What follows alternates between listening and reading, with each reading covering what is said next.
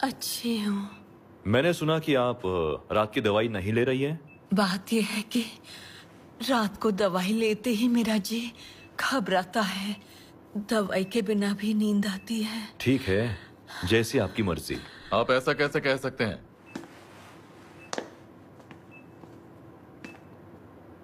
ये कोई होटल या रिजॉर्ट है क्या जहाँ इनकी मर्ज़ी चलेगी? मेरे कहने का वो मतलब नहीं था। वो छोड़िए। आपको कम से कम ये तो देखना चाहिए कि मरीज़ अपना खाना खा रहा है या नहीं। ये देखिए इन्होंने खाना छुआ भी नहीं है। मैं वही देखने वाला था। इससे बेहतर खाना तो जेल में मिलता है।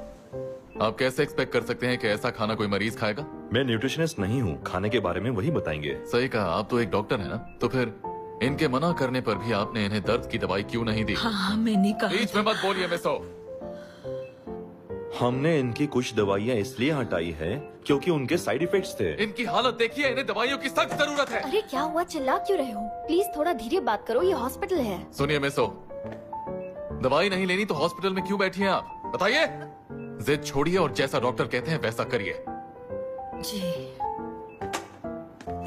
Mister Cassano. I am sorry doctor उनकी तरफ़ से मैं माफ़ी मांगती हूँ।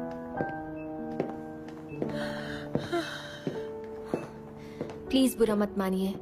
आजकल वो बहुत टेंशन में है इसीलिए शायद। उसने तो डरा ही दिया। पर एक बात बताऊँ उसकी डांट में प्यार था। सर आज डोंगिल और टाइसन बैंक्स के प्रेसिडेंट के साथ मेरी मीटिंग थी।